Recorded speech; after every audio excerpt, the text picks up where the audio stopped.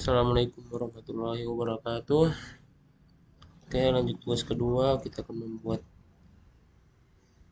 tutorial mastercam 2 toolpad. Kita gambar yang ini. Kita gambar setengahnya dulu. Ini. 15 ya, 20 turun ke bawah 5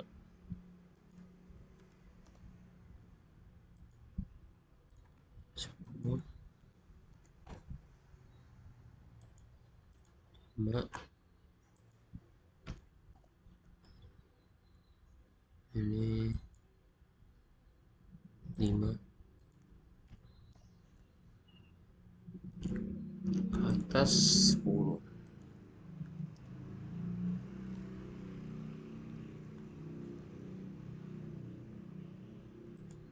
pin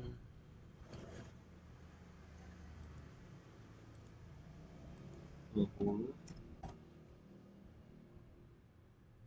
Ke atas lima oke. Selanjutnya di sini kita buat ke mesin.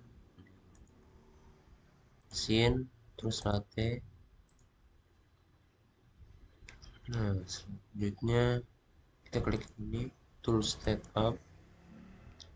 Yang ini ini untuk benda kerjanya gambar benda kerjanya kita properties. Klik yang ini make from to point. Klik di sini di sini. Oke. Okay. selanjutnya klik use margin nah ini untuk uh, ketebalan lebih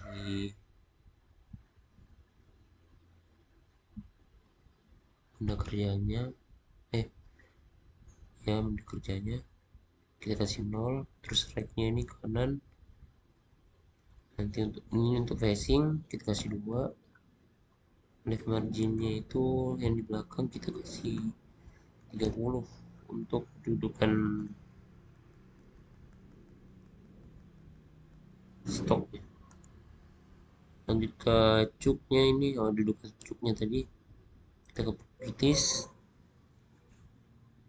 Properties kita klik yang from stock nah ini untuk cuknya ini tadi kan 2 30 kita kasih. 20 oke. Bisa jadi. Selanjutnya kita buat yang pertama yaitu kita finishing. Ini kan hmm, bayangan cuknya ini bayangan benda kerja awal. Nah ini benda bayang ini benda yang akan kita buat nah ini yang lewat ini bayangan benda kerja awal. Kita face dulu. Kita ambil yang ini. Kecepatannya itu kita ubah 2000 kemudian kita ke face parameter.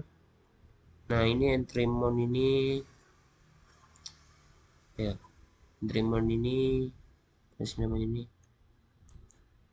Uh, ini hmm, ini apa?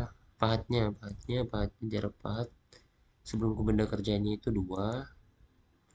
Terus kita ini klik yang ini.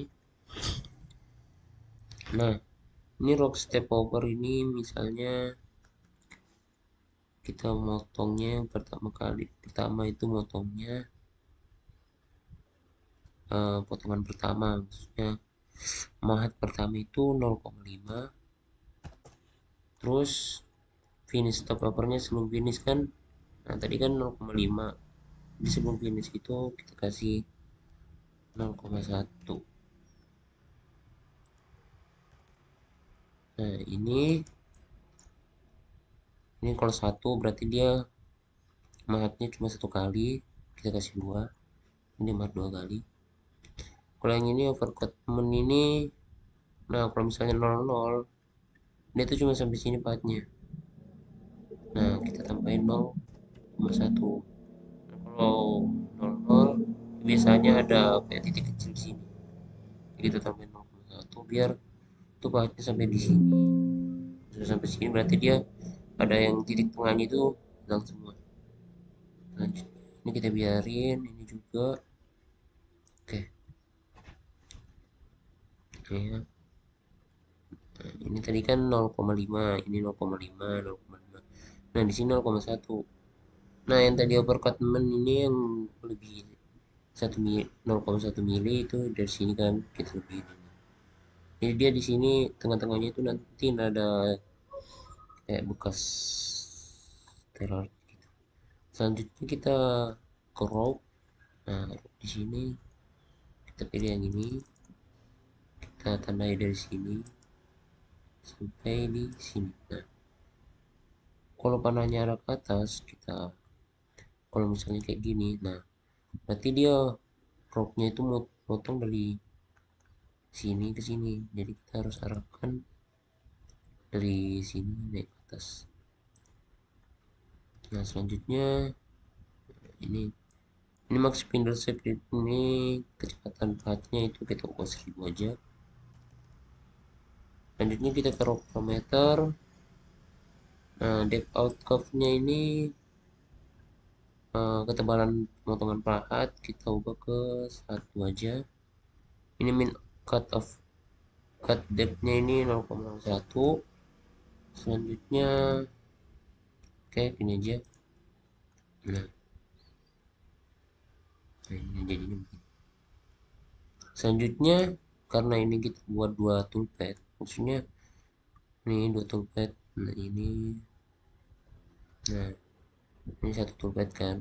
Kemarin Google bertingkat itu memakai satu toolpad. Satu dua. Nah dua toolpad. Nah ini tidak bisa di roll makanya kita harus pakai dua toolpad. Kita buat dua toolpadnya kita grupnya new toolpad group. Nah di sini kita klik yang ini.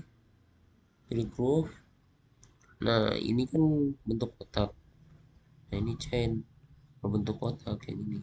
Tiga line nah terus kita klik yang ini.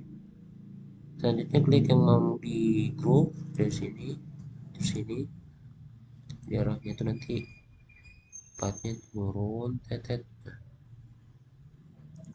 Dan centang ini kita ubah tuh nomornya nomor 2 tadi kan nomor kecepatannya itu kita ubah 2000 terus cepat belum parameter ini ini sim oke udah ada centang. Nah jadinya tuh begini. Karena dia kalau satu toolpad dia cuma bisa yang ini bisa finish facing sama yang ini groove dia tidak bisa groove karena partnya itu tidak bisa masuk. Makanya kita pakai dua toolpad biar tuh toolnya itu yang, yang bisa untuk bagian dalam sini. Selanjutnya kita finishing. Yang terakhir itu finishing. Nah kalau finishing itu pakai pahat yang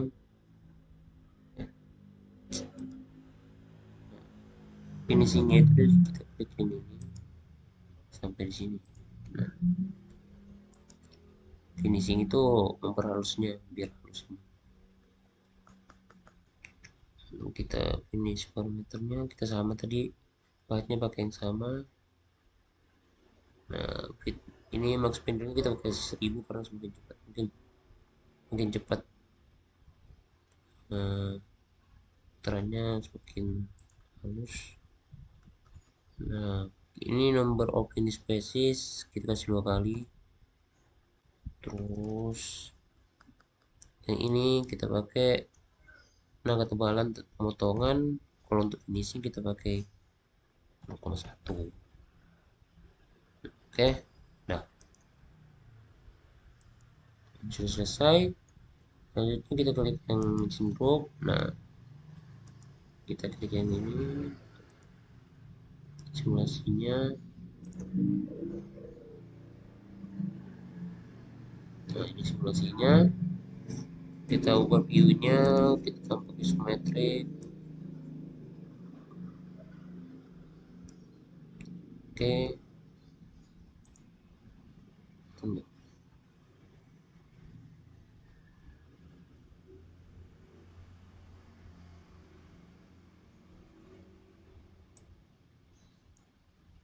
nggak kelihatan. Bentar. Saya jadi nah ini sudah muncul. Itu simulatornya. Kita mundurin.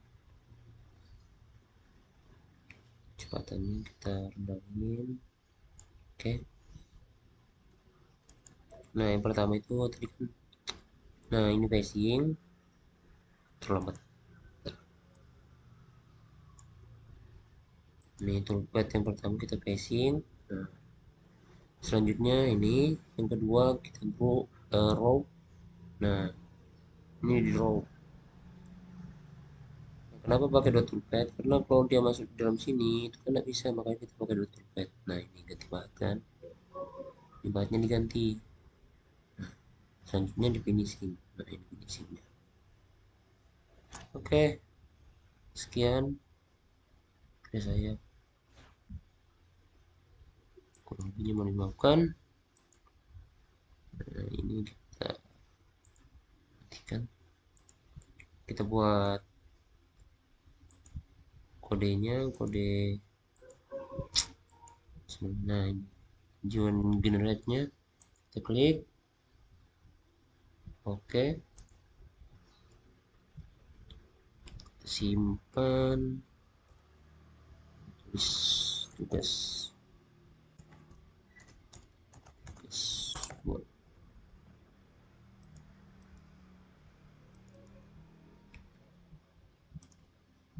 oke. Terima kasih assalamualaikum